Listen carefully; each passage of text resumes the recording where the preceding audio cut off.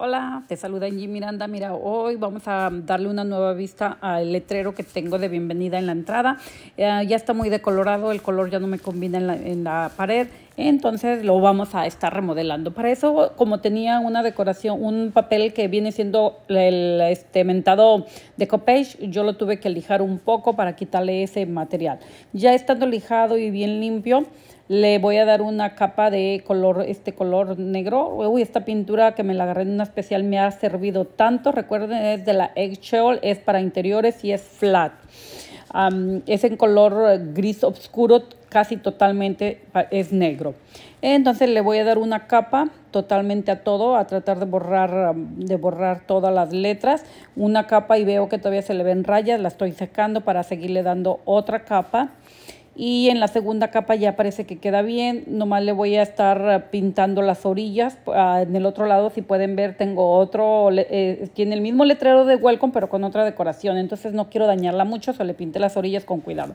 Ya para ponerle el letrero de Welcome voy a utilizar esta planilla o stencil, como ustedes le llamen y lo pegamos con cinta adhesiva para que no se mueva, para que el rodillo con la pintura no lo esté moviendo. En un plato ponemos el color de pintura que quieramos usar, poner el letrero y en el rodillo lo manchamos bien, que esté todo, todo el rodillo manchadito de pintura para que a la hora que lo pasemos por encima de la planilla o del stencil pinte lo que es la letra.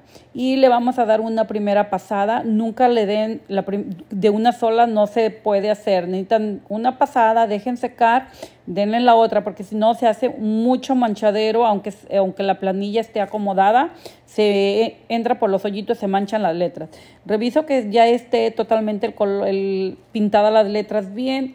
Veo que sí, ya no le voy a dar otra. Con dos pasadas con el rodillo tubo, la seco y remuevo mi, mi planilla.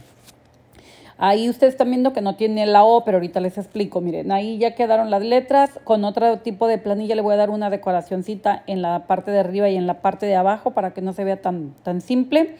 Eh, ustedes pueden encontrar las planillas esas bien económicas en las tiendas de decoración, pero también en la tienda del Dollar Tree. Seguido hay muchas de ese tipo de, de material.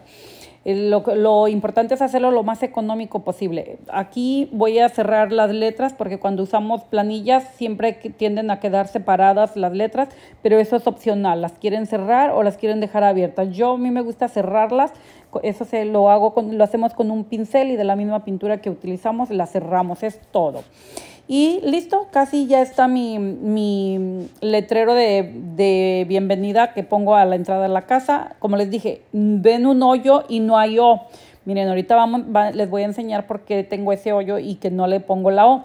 Aquí estoy decorando este corazón también de, son unos corazoncitos de madera que los encuentras en la tienda del dólar. Vienen creo que cinco en un paquetito de a dólar.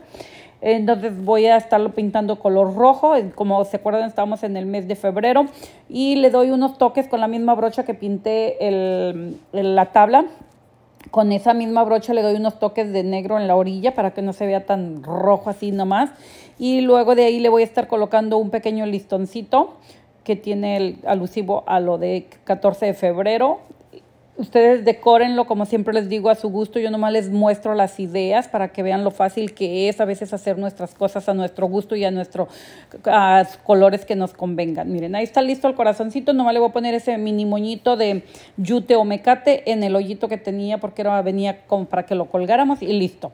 Ah, mm, estas, estas cositas yo me las reciclé de algo que habíamos comprado de cartón y con lo que donde venía envuelto eh, traía sosteniendo lo que habíamos comprado con eso de esas cositas verdes y yo las guardé y miren aquí me está sirviendo este para ponérselo atrás al corazón y me sirva de colgadera o amacizadera donde la voy a poner. Entonces, ya está listo el corazoncito. Ahora les muestro por qué no tiene O mi, mi letrero y por qué tiene un hoyito. Es para, según la ocasión, estarle cambiando ahí al gusto. Miren, ¿ven qué práctico es ese alambrito? Nomás lo extiendo y listo, ya quedó amacizado el corazoncito o el que viene siendo la función de la letra O. Pero si no estamos en febrero y queremos otra cosa, miren, le podemos poner una flor y listo. No queremos la flor, entonces una corona. No queremos la corona, viene Pascua, le ponemos un conejo. Todavía no lo tengo pintado, pero luego lo voy a pintar. Y así de fácil quedó mi letrero de welcome en vez de O, un hoyito para estarle cambiando el, la O de acuerdo a la estación. Bueno, espero que si te gusta el video hagas o, si te gustó mi trabajo hagas algún comentario y así luce ya puesto en la pared donde lo puse junto con la corona de, para el mes de febrero y pues esto fue Angie Miranda en, en Facebook, perdón, Angie Miranda Recicla en YouTube. Ah, nos vemos en el próximo video.